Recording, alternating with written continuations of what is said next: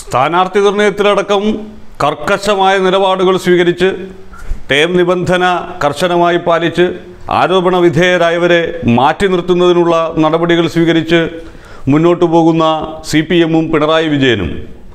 പക്ഷേ അത്തരത്തിൽ ആരോപണ വിധേയരായ ആളുകൾ തങ്ങളുടെ ഘടകകക്ഷികളുടെ സ്ഥാനാർത്ഥികളായി വരുമ്പോൾ ഒരഭിപ്രായവും പറയാതെ മിണ്ടാതിരിക്കാനാണോ ഉദ്ദേശിക്കുന്നത്? ഇപ്പോൾ ജനതാദൾ എസിന്റെ സ്ഥാനാർത്ഥി പട്ടിക ഔദ്യോഗികമായി പുറത്തു വന്നു. അതൊരു വൃദ്ധസദനമാണ് എന്ന് ബോധ്യപ്പെടുത്തുന്ന ഒരു പട്ടിക. മത്സരിച്ചവർ വീണ്ടും വീണ്ടും മത്സരരംഗത്തേക്ക് വരുന്നു. പുതിയ തലമുറയിൽ ആർക്കും അങ്ങോട്ടേക്ക് ഇടവില്ല എന്നുള്ള കൃത്യമായ സന്ദേശം കൈമാറിക്കൊണ്ടുള്ള സ്ഥാനാർത്ഥി പട്ടിക. ജോസ് തെറ്റയിലും കൃഷ്ണൻകുട്ടിയും മാത്യു തോമസും തിരുവനന്തപുരത്തെ കോവളത്ത് നീലലോകിതദാസൻ നാടാരും. എന്നു തുടങ്ങിയ പണിയാണ് നീലലോകിതദാസൻ നാടാർക്ക് ഈ മത്സരമെന്ന് പറയുന്നത്?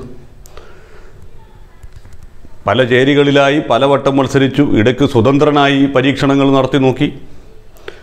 രണ്ടു വട്ടം കേരളത്തിൽ മന്ത്രിയായി ഒരു വട്ടം പകുതി മന്ത്രിസ്ഥാനം തുടങ്ങിയപ്പോൾ തന്നെ ലൈംഗിക ആരോപണത്തിൽ പെട്ട് ആ സ്ഥാനം രാജിവെക്കേണ്ടി വന്നു.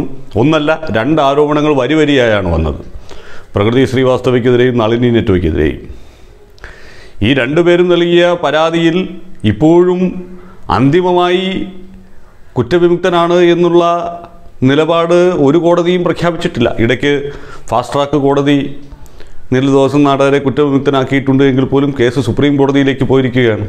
സുപ്രീം കോടതിയുടെ പരിഗണനയിലാണ് ഇപ്പോഴും ആ കേസ്. അത്തരത്തിൽ ഈ ലൈംഗിക ആരോപണത്തിൽ കുറ്റവിമുക്തനാക്കപ്പെട്ടിട്ടില്ലാത്ത പ്രായാധിക്യത്താൽ നേരെ നടക്കാൻ പോലും വയ്യാത്തൊരവസ്ഥയുണ്ട്. ആ ഒരു അവസ്ഥയിലുള്ള നീലലോകിതദാസൻ നാടാരെ പിന്നെയും സ്ഥാനാർത്ഥിയാക്കുമ്പോൾ അതും സ്വന്തം ഭാര്യയുടെ എതിർപ്പ് മറികടന്ന് മുൻ എം എൽ എ ആയിരുന്ന കഴിഞ്ഞ തവണ അവിടുത്തെ സ്ഥാനാർത്ഥിയായിരുന്ന ജമീല പ്രകാശം നീലലോകദാസൻ നാടാർ അവിടെ മത്സരിച്ചാൽ വിജയിക്കില്ല എന്നും അദ്ദേഹത്തിനെതിരായിട്ടുള്ള ആരോപണങ്ങളും അദ്ദേഹത്തിന്റെ പ്രായവുമൊക്കെ പ്രതികൂല ഘടകമാകുമെന്നുമുള്ള നിലപാടെടുത്തിട്ടും അതൊന്നും അംഗീകരിക്കാതെ അദ്ദേഹത്തെ തന്നെ സ്ഥാനാർത്ഥിയാക്കിയിരിക്കുകയാണ്. രണ്ടായിരത്തി ആറിൽ നമുക്കറിയാം വി എസ് അച്യുതാനന്ദൻ കടുത്ത നിലപാടുകൾ സ്വീകരിച്ച് ഈ നീലലോകദാസൻ നാടാർ ഒരു കാരണവശാലും മത്സരിക്കാൻ പാടില്ല. ആരോപണ വിധേയനായിട്ടുള്ള ഒരാൾ മത്സരരംഗത്തേക്ക് വരാൻ പാടില്ല എന്ന കടുംപിടുത്തമുണ്ടായതിനെ തുടർന്ന് നാമനിർദ്ദേശ പത്രിക സമർപ്പിച്ചതിനെ തുടർന്ന് അതിൽ നിന്ന് പിന്മാറേണ്ടി വന്ന അവസ്ഥയുണ്ട്. അന്ന് നീലലോകദാസൻ നാടാർ അവിടെ സ്വതന്ത്രനായി മത്സരിച്ച് രണ്ടാം സ്ഥാനത്തെത്തി എൽ ഡി എഫിന്റെ ഔദ്യോഗിക സ്ഥാനാർത്ഥി റൂഫസ് ഡാനിയലായിരുന്നു. അപ്പോൾ അത്തരം കടുത്ത നിലപാടുകൾ എടുത്തിട്ടുള്ള മുന്നണി നേതാക്കളുള്ള കേരളത്തിൽ വീണ്ടും ഈ വയസ്സാം കാലത്ത് സ്വന്തം ഭാര്യ പോലും എതിർക്കുന്ന ഘട്ടത്തിൽ ആരോപണ വിധേയനായി നിൽക്കുന്ന ഒരാളെ ശരിക്കും പറഞ്ഞാൽ വിൻസെന്റിനെതിരെ ഇത്തരത്തിലുള്ള ആരോപണങ്ങളൊക്കെ അതിശക്തമായി ഉയർത്തിക്കൊണ്ടുവരാൻ എൽ ഡി എഫ് തയ്യാറെടുത്ത് നിൽക്കുന്നതിനിടയിലാണ് നേരത്തെ ഒന്നല്ല രണ്ട് വട്ടം ആരോപണ വിധേയനായ മന്ത്രിസ്ഥാനം രാജിവെക്കേണ്ടി വന്ന ഒരാളെ കോവളത്തെ സ്ഥാനാർത്ഥിയായി അവതരിപ്പിക്കുന്നത് എന്നുള്ളതാണ്. കോവളത്തെ ഇടതുമുന്നണിയെയും അദ്ദേഹത്തിന്റെ ഭാര്യയും ഉന്നമല്യവുമായ ജമീല പ്രകാശം അടക്കമുള്ളവരെയും വേദനിപ്പിക്കുന്നത്. കാരണം വിൻസെന്റിനെതിരെ അത്തരം ഒരു ആരോപണം അതിശക്തമായി ഉയർത്തിക്കൊണ്ടുവരാൻ സാധിക്കുന്ന ഒരു ഘട്ടമായിരുന്നു.